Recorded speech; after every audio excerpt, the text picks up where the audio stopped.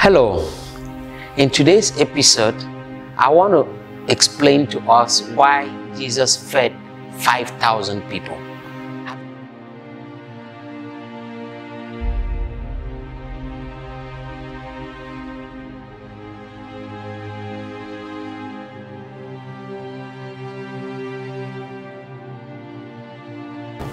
Have you ever really wondered what happened?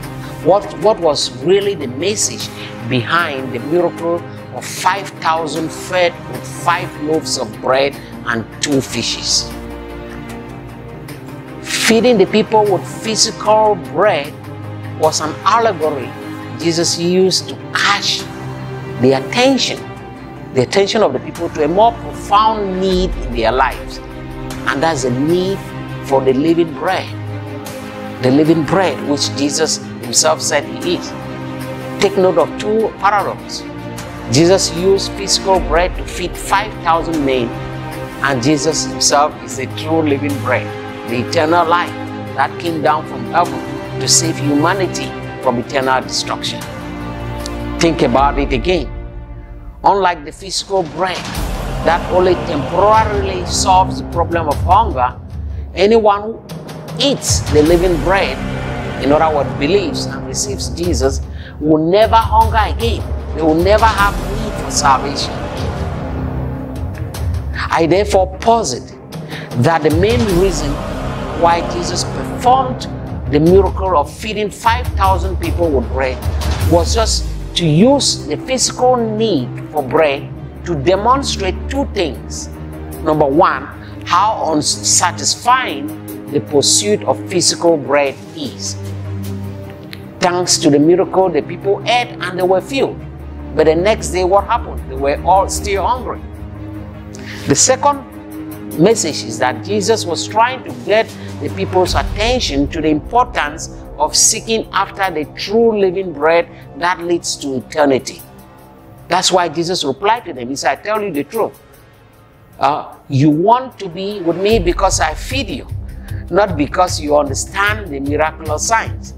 But don't be so concerned about perishable things like food.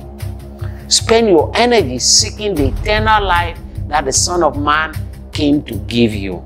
Oh, I'm paraphrasing John chapter 6, verse 26 to 27 there. My challenge to you listening to me today have you received the living bread? That is salvation that has come down from heaven that Jesus came to give. Have you received it? If not, consider doing that today because tomorrow is not guaranteed for anyone.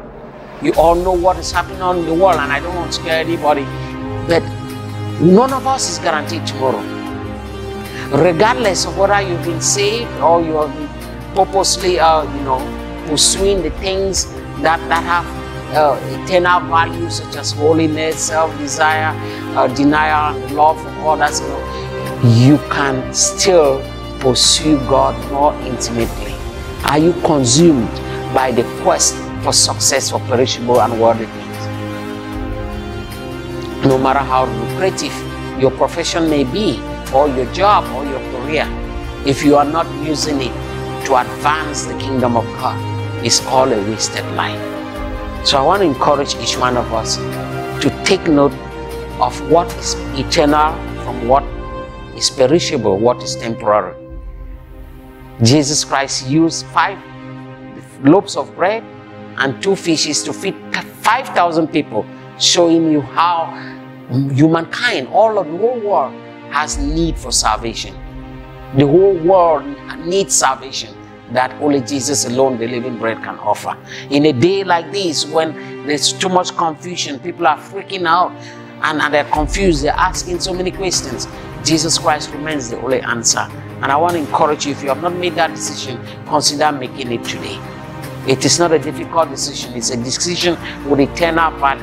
And you can be guaranteed that God will answer your prayer if you answer to call to receive Christ today. I want to pray for you that the grace of God will give you the wisdom you need, that the Lord will impact you wisdom to be able to know what things have spiritual value, eternal value from the things that are perishable and temporary. I pray for that spirit of wisdom that will come upon you and give you the choice to make the right decision.